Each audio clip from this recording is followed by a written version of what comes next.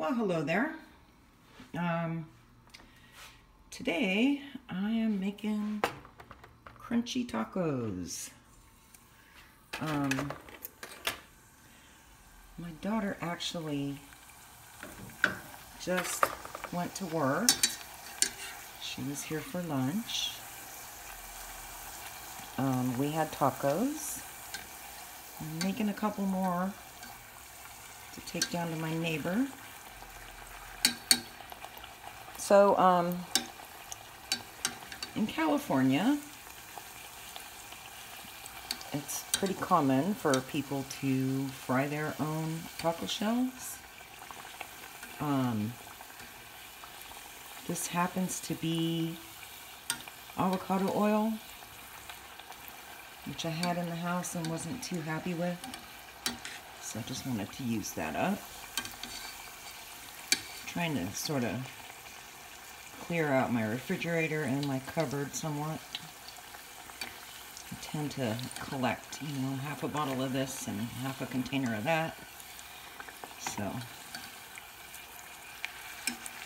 frying the shell.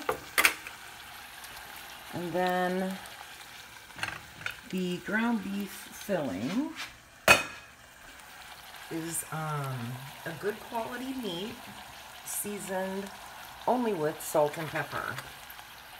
There's no quote-unquote taco seasoning, which would hide the flavor of the ground beef. And then the shells are heavily seasoned with Lawry's seasoned salt.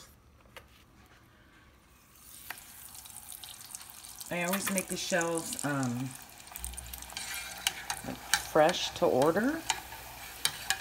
If you let if you let them sit around for 10 minutes fried up, they start to get soggy. So you want to cook them as you go. Which is to say, whoever's cooking kind of has to eat last. That's just the reality of it. Um, I grew up in California, and as a kid, used to go to a lot of my parents' you know, friends' houses. Um, they would serve tacos for lunch often. Just about everyone made them the same way I'm doing here. Um, except for one of her friends. Um, was kind of interesting she would put the cooked ground beef in a raw tortilla and um, cook it with toothpicks to hold the meat inside the tortilla.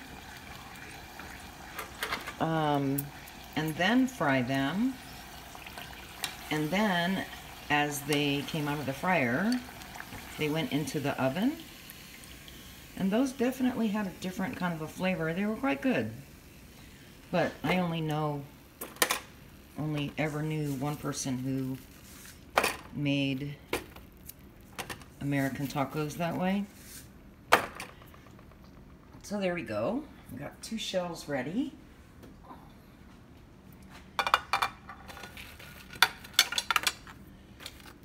then Getting the filling in with one hand should be interesting. Hmm. Okay, I probably can't even do that.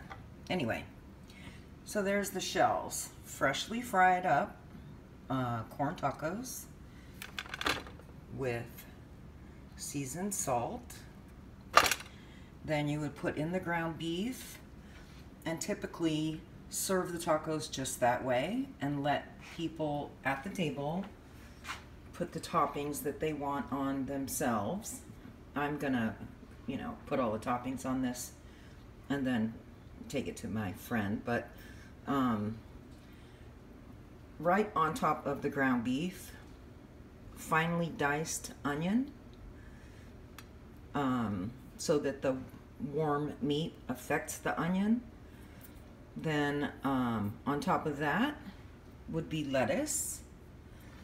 and then sour cream, then freshly grated cheddar cheese, and then the tacos go on top.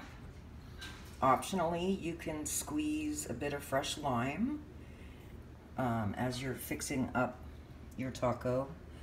Um, and if I had cilantro, that would also be one of the toppings offered. I just don't happen to have any in the house. So that's it. It's that simple. Um, I think the most important thing about it is that we don't put any taco seasoning, quote unquote, on the meat. Um, and we fry the shells um, as we're as we're going, fried up fresh, not the ready-made Taco Bell shells. So that's it. I'm gonna make um, some chili con carne for dinner tonight. So that's the next thing coming up. Thanks for watching. Bye bye.